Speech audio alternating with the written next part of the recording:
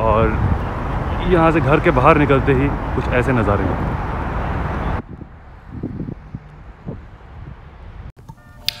Hi friends कैसे हैं आप लोग? आई होप आप सब लोग बढ़िया होंगे। और आज के इस वीडियो में मैं आपको टूर दूँगा अपने अपार्टमेंट का। उससे पहले मैं आपको अपने नेबरहुड के बारे में बताना चाहता हूँ कि मैं कहाँ रहता हूँ अपार्टमेंट के बारे में थोड़ी सी इन्फॉर्मेशन दूँगा, फिर उसके बाद स्टार्ट करेंगे। तो मैं अभी सैन फ्रांसिस्को के एक साउथ बीच नेबरहुड में रहता हूँ, जो बे के एकदम किनारे है। तो बहुत ही खूबसूरत लोकेशन है, बहुत ही अमेजिंग व्यू है, मैं वो भी आपको दिखाऊँगा। तो पहले मैं अपने घर से स्टार्ट करूँगा, फिर उसके बाद हम थोड़ा बाहर जाके देखेंगे आसपास का एरिया ये एक two bedroom two bathroom apartment है, इसको मैं शेयर करता हूँ अपने रूममेट के साथ, और मुझे लगभग तीन या चार महीने हो गए हैं रहते हुए। इससे पहले मैं एक सैन फ्रांसिस्को सबर्ब है डेली सिटी वहाँ पर रहता था। वहाँ मैं लगभग एक साल था और तीन महीने पहले मैं यहाँ पे आया हूँ और ये बहुत ही अमेजिंग लोकेशन है। गाइस मैं भी आपको दिखाता हूँ। और राइट गाइस तो एंट्रेंस से स्टार्ट करते हैं। तो सबसे पहले देखते हैं लिविंग रूम तो ये लिविंग रूम है।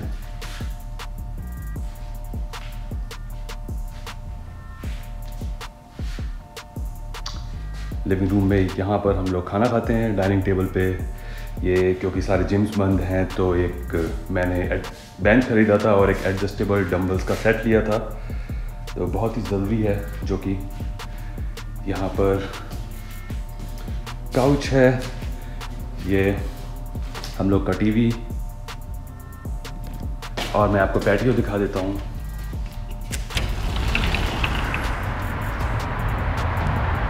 ये सबसे बेस्ट चीज़ लगती है मुझे इस घर की, कि बाहर पैटियो में बैठ के चिल कर सकते हो। तो यूजुअली जब मेरे दोस्त आते हैं या मेरे रूममेट के दोस्त आते हैं तो हम लोग यहीं बैठ के चिल करते हैं रात को। ये हम लोग का किचन है। ये हमारी डिशेस हैं। बेसिकली डिश वॉशर यहाँ बर्तन धोने के लिए माइक्रोवेव रेफ्रिजरेटर और अब मैं आपको अपना रूम दिखाता हूँ सबसे पहले।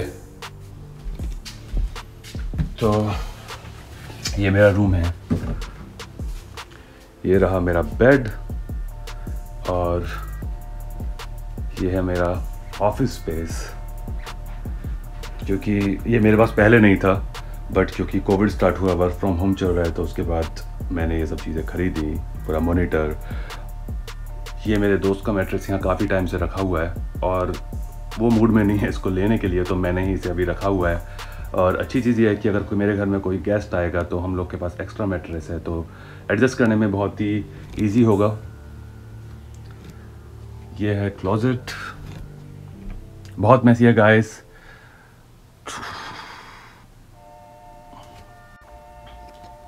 ये गाइस मेरा बाथरूम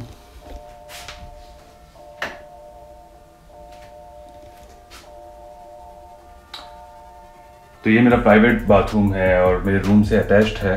दूसरे वाला जो बाथरूम है वो मेरे रूममेट के रूम से अटैच्ड नहीं है बट वो भी टेक्निकली प्राइवेट बाथरूम हो गया।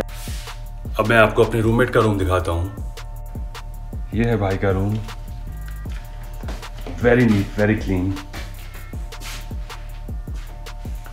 और वो अभी घर पे नहीं है नहीं तो मैं आप लोग को उससे मिलवाता। वेरी नाइस गाय तो मैंने अपने रूममेट से परमिशन ले ली थी कि अगर तू घर पे नहीं होगा, क्या मैं तेरा रूम दिखा सकता हूँ? उसने बोला हाँ।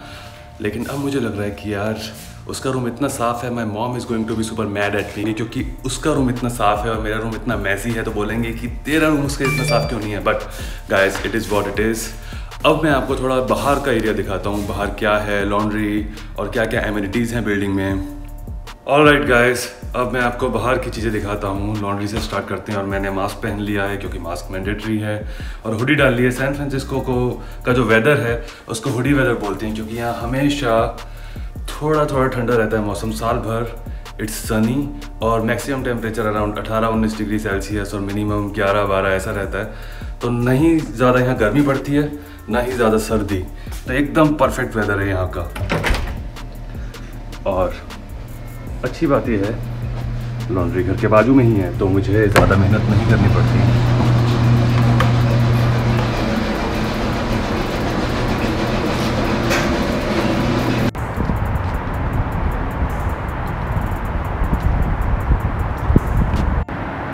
तो गाइस ये स्विमिंग पूल है बट कोविड के चलते बंद है काफ़ी टाइम से। तो कोई यूज़ नहीं करता। ये स्पॉट है बारबेक्यू करने के लिए। यहाँ पे भी मैंने ज़्यादा लोगों को देखा नहीं है, क्योंकि मैं यहाँ कोविड के टाइम पे मूव हुआ हूँ। और मैं आपको जिम दिखा देता हूँ। जिम मुझे लग रहा है बंद होगा। और ये कॉमन एरिया है। जिम अभी भी बंद है यहाँ पर। बीच में खुले थे जिम बट अब वापस से यहाँ पे केसेस जब बढ़े थे तो उसके बाद लॉकडाउन हुआ। लॉकडाउन लिफ्ट हो गया है, लेकिन जिम तो अभी भी नहीं खुले हैं यहाँ पे। अब मैं आपको लेकर चलता हूँ ग्रॉसरी स्टोर पे। और गैस ये बहुत अच्छा एरिया लगता है मुझे। यहाँ लीजिंग ऑफ़िस है। और शाम को यहाँ पे आओ तो बहुत ही चहल पहल रहती है। बच्चे खेलते हैं। सेम इंडिया जैसी फीलिंग आती है। ऐसा लगता है कि आप पुणे, बेंगलोर में हो।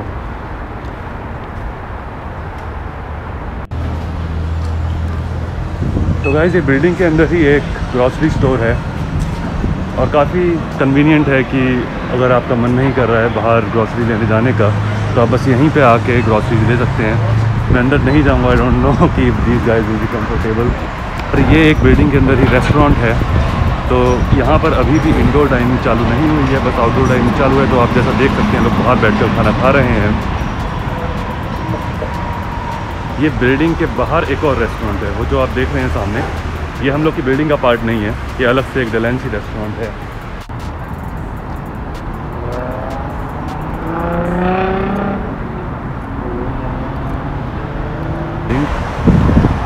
के बाहर आते ही आप देख सकते हैं। पूरे टाइम सनी रहता है गाइस यहाँ पे आओ चिल करो। काफ़ी चहल पहल रहती है। तो गाइस मुझे बेस्ट पार्ट जो लगता है यहाँ पर, मैं उतना ज़्यादा भागने नहीं जाता था।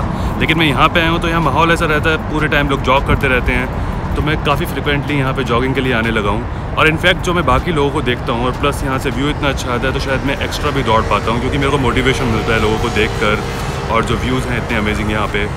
तो डेफिनेटली काफ़ी अच्छा है मेरी हेल्थ के लिए कि मैं यहाँ पे मोर फ्रिक्वेंटली जॉग करने आ रहा हूँ। तो गैस अब मैं आपको अपने कुछ फेवरेट स्पॉट्स दिखाता हूँ कि जहाँ जहाँ मैं काफ़ी ज़्यादा जाता हूँ। तो जो आपको ब्रिज दिख रहा है, ये बे ब्रिज है जो सैन फ्रांसिस्को को ओकलैंड से कनेक्ट करता है। इसके इसको मैंने अपने एक सबसे फ़र्स्ट वीडियो में भी दिखाया था, जब मैं पी थर्टी नाइन पर मैंने वीडियो किया था एक। तो अभी हम लोग जाएँगे ब्रिज के उस पार, वहाँ एक पार्क है, वहाँ पर मैं आपको दिखाऊँगा। वहाँ से व्यू दिखाऊँगा। फिर उसके बाद एक पियर है, यहाँ पे मुझे नहीं पता वो कौन सा पियर है बट यूजुअली हम लोग जब पार्टी करते हैं तो रात को उसी पियर पे जाते हैं।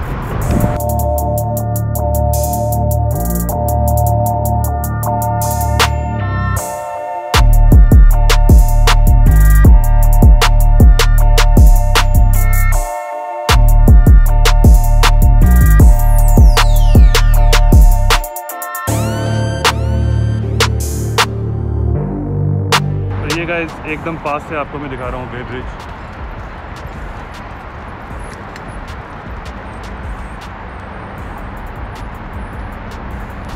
तो गाइस मैं आ चुका हूँ जिस पार्क की मैं बात कर रहा था तो वो ये पार्क है, मैं आपको अभी दिखाता हूँ। और ये मेरे घर से लगभग पाँच मिनट की वॉक है। और यहाँ पर आप देख सकते हैं, काफ़ी लोग आते हैं पिकनिक के लिए, अपने डॉग को लेके आते हैं। काफ़ी सही स्पॉट है चिल करने के लिए।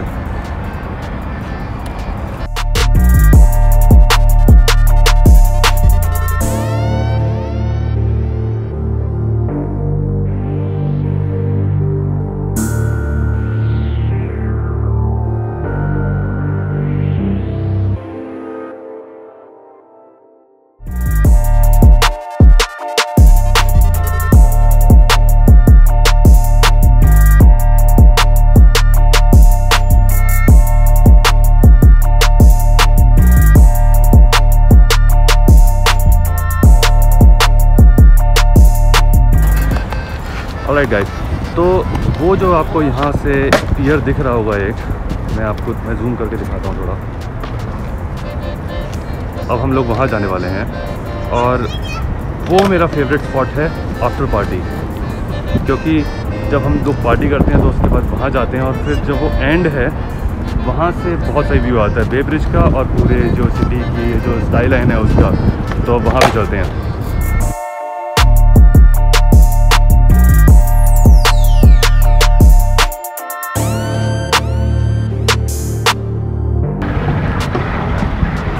और गाइस हम लोग आ चुके हैं और इस पियर का नंबर है फोर्टीन मुझे आज पता चला है यहाँ पे, जबकि मैं काफ़ी बार आता हूँ यहाँ।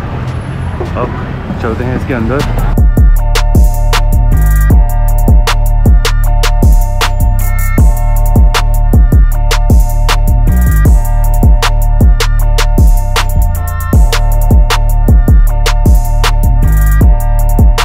और गाइस हम लोग ऑलमोस्ट पहुँच चुके हैं। यहाँ पर फिशिंग चल रही है तो ये है हम लोग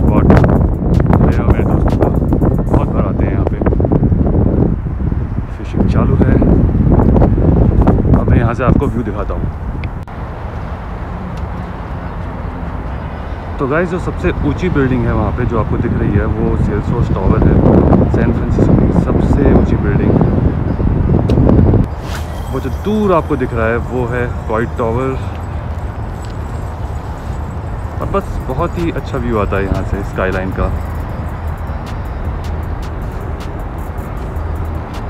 और बे ब्रिज का और आइलैंड का। मैं यार श्योर नहीं हूँ कि ये एल्गेट्राज आइलैंड है कि नहीं है। मैं डिस्क्रिप्शन में डाल दूँगा या फिर वीडियो में ऊपर एक लाइन ऐड कर दूँगा कि कौन सा आइलैंड है ये। बट ओवरऑल बहुत ही अच्छा स्पॉट है ये।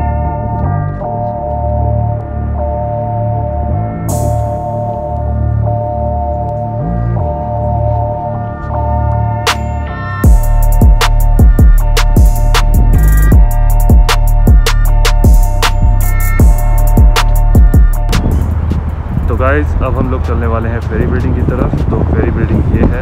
मैं थोड़ा जूम करके आपको दिखा देता हूँ।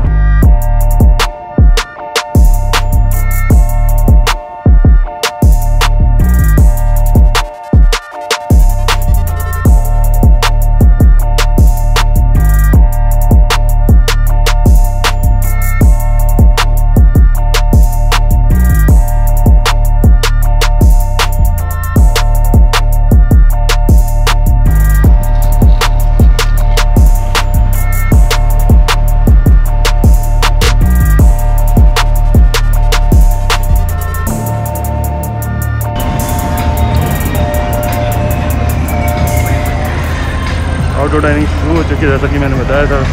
तो काफ़ी हैपनिंग हो गया। अगर मैं दो हफ़्ते पहले ये वीडियो बनाता तो पूरा यहाँ पे डेड रहता। ऑब्वियसली लोग चल रहे होते लोग वॉक पे आ रहे आ, रहे थे लेकिन रेस्टोरेंट सारे बंद थे बस टेकआउट चालू था। तो वो मज़ा नहीं था। सिटी में ऐसा लग रहा है जान आ गई है। और गाइस जो इस एरिया की मुझे अच्छी बात लगती है वो ये कि जितनी भी बड़ी टेक कंपनीज़ हैं गूगल फेसबुक लिंकडिन सबके ऑफ़िस यहीं हैं पाँच मिनट की दूरी में। तो वो एक काफ़ी अच्छी चीज़ है स्पेशली जो लोग टेक में काम कर रहे हैं, उनके लिए बहुत ही सही प्लेस है ये रहने के लिए। क्योंकि तो ईजी हो जाता है नेटवर्किंग करना आपको दूसरी कंपनी के लोगों के साथ।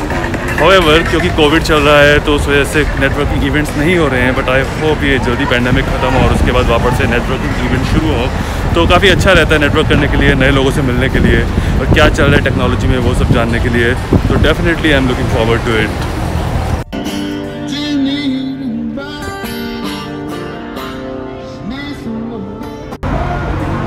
ये गाइस फेरी बिल्डिंग वाला एरिया काफ़ी सही जगह है चिल करने के लिए। और यहाँ स्टारबक्स भी है तो सोच रहा हूँ मैं भी एक कॉफ़ी ले लेता हूँ।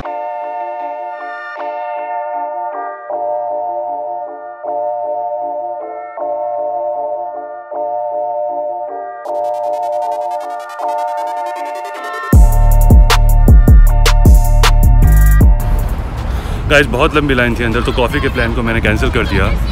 और गाइज़ मुझे लगता है कि मैं इस वीडियो को यहीं एंड करता हूँ क्योंकि यहाँ पे इतने स्पॉट्स हैं अगर मैं सारे स्पॉट्स अगर दिखाने लग जाऊँगा तो आ, मुझे शायद यहाँ पूरा दिन स्पेंड करना पड़ेगा। उसके बाद भी मैं शायद सारे स्पॉट्स कवर नहीं कर पाऊँगा। तो मैं क्या करूँगा कि और वीडियोज़ बनाऊँगा और आपको दिखाऊँगा जो सैन फ्रांसिस्को के स्पॉट्स हैं। और इस बार मैं काफ़ी बिज़ी था कुछ टाइम से और इस वजह से दो या तीन महीने से वीडियोज़ अपलोड नहीं कर पाया था लेकिन अब मैं बहुत ही फ्रिक्वेंटली वीडियोज़ अपलोड करूँगा। तो अगर आपको मेरी ये वीडियो पसंद आई हो तो इसको लाइक कीजिए कमेंट कीजिए शेयर कीजिए सब्सक्राइब कीजिए, और मैं मिलता हूँ आपको अपने अगले वीडियो में।